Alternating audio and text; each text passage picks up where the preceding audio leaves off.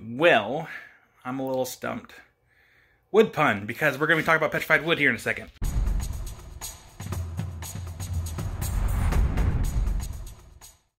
So, we have um, some material, material here. Uh, I pulled this from the pile out back, and I didn't think anything of it up until I was having to go through the pile to pick some stuff out for um, some friends. And I just kept finding pieces that I forgot were even there. So I'm and and the thing is, I don't know what it is, and that's what's just driving me up the wall. I've messaged um, multiple people, and no one knows uh, what variety it is, where it came from, and it's driving me a little crazy.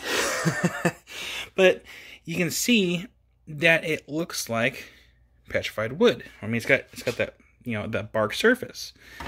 Well, this stuff is heavily agatized, and it almost looks like jasper, but it's not jasper. You can see the the growth rings right there. They're going that way. But the stuff is just beautiful. And it's driving me up the wall. I don't know what it is. But I'm finding um, some good chunks. Um, I haven't found a full round of it, I don't think. Um, I mean, I have some yellow petrified wood in the in the rock room, but I don't think it's the same material. But I found partial rounds, and this could be a round itself. Uh, this might be the center of it. I don't know for sure. I'll have to cut it open and find out. And then you got this piece here. It's not even round, but you can see that the the surface looks like some kind of bark. It looks like bark. But the inside, you would think it to be jasper.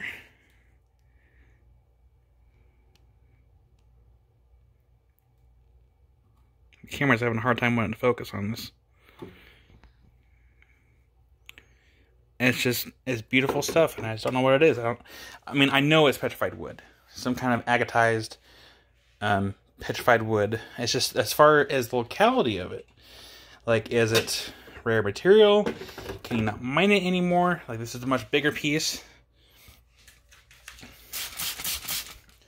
Like, these are these are important questions. Like it's hard to judge what something's worth per se um, if you don't know where it came from.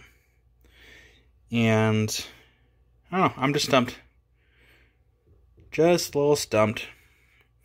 It's beautiful stuff. I actually have a piece over here in the saw checked up and ready to go. Another partial round. So I'm really curious what's going to look like on the inside. Don't drop my phone because that would kind of suck a little bit. Alright, the saw's done. Let's see what we got. Pull it back.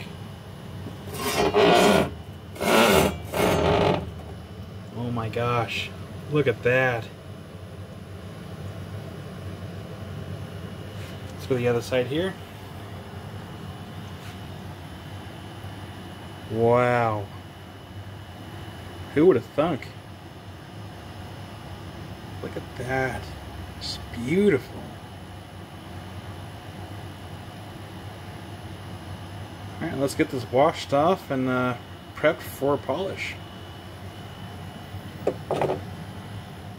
Okay, it's been a couple days, and here's what's going on so far. So far, I left this side alone, and I sanded this side in preparation for polish.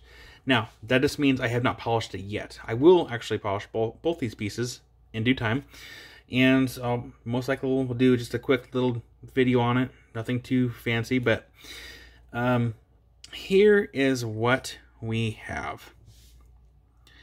This is a good comparison of what I have to work with. Now, I would really, really love to know where this stuff comes from. I'll get to that more in here in a second. But the fact that this stuff will take a polish is just, it's awesome. I'm really excited to be able to polish this stuff. You can see the wood grain. It's beautiful. I mean, if you just look at it from the outside, you wouldn't think that. You're like, okay, yeah, that's this kind of looks like petrified wood. A little bit. But then you cut it open, and you can just see the wood grain.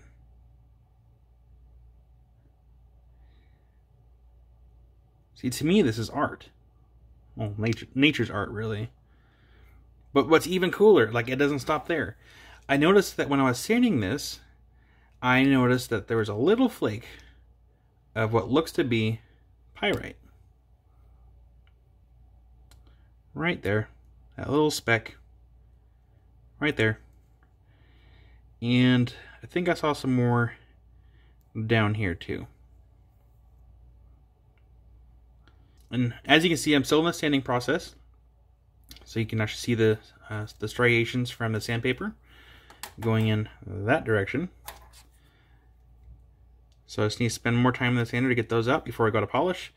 And the reason why I haven't done polish yet, because, well, I like to be able to have enough time in the day to, or early in the day, to do polish and then go straight to washing. Because when that cerium oxide gets in all the cracks and crevices, it's just, it's a huge pain to have to try to scrub it out late at night. And so I would rather wait until, you know, people aren't sleeping to fire up the, uh, the little pressure washer I have. It's just a beautiful stone, and I, I'm really excited to get this polished up to uh, put in my rock room, because that is just a beautiful specimen. Okay, this is where I ask for a little bit of help from all of you. If you or anyone that you know is well versed in petrified wood and its localities, please let me know kind of where the stuff comes from, because that'd be greatly appreciative.